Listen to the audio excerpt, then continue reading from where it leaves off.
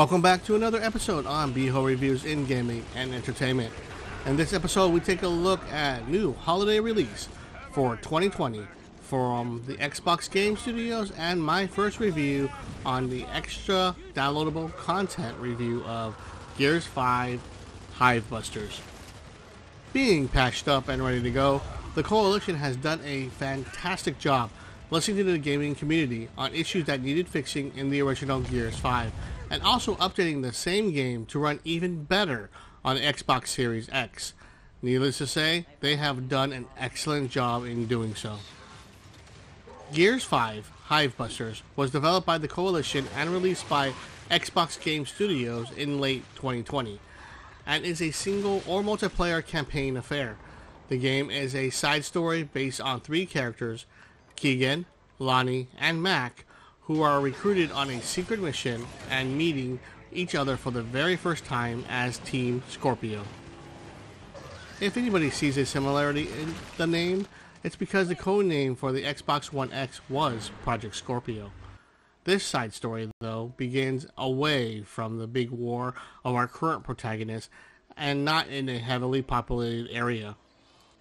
The island that they land on reminds of the introduction chapter of Gears 5, but is more lush with its jungle vibe throughout the chapter. The team battles together, trying to figure out the what and why reasons they are there and how to contribute. The writing is great, as the banter between the team members, especially Mac, reveals their true feelings about the missions, including working alongside with each other with their different personalities. I love how the short campaign was still able to flesh out and develop the characters into something more for the player.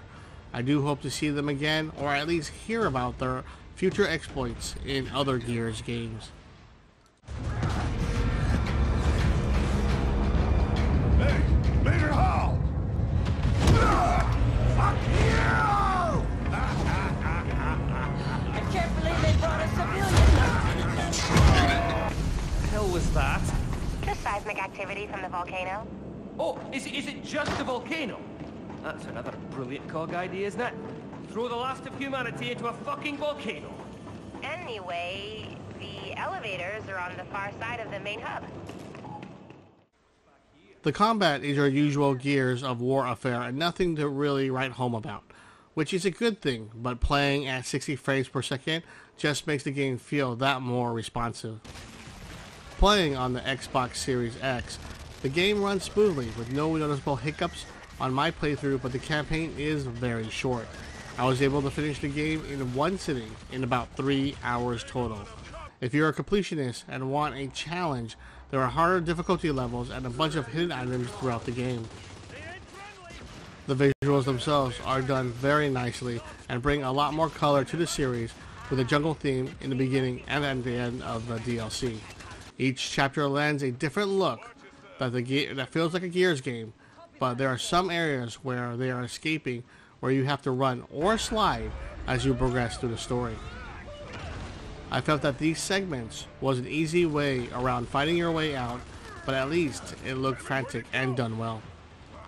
If you are into stealth, there's also a stealth section where you can just quietly dispatch your enemies. I failed at this since I love to run and gun and blow things up. I was able to do about three stealth kills before just going all out on the enemy.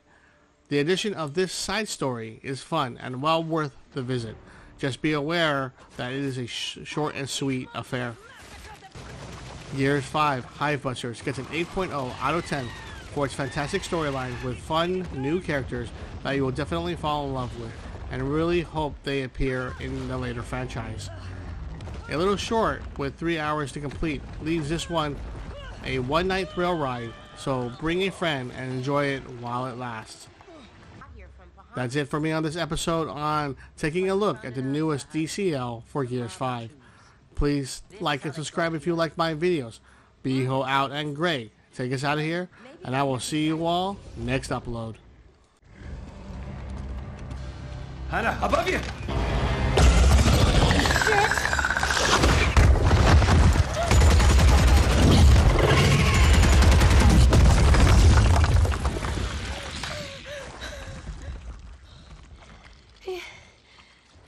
I can't handle?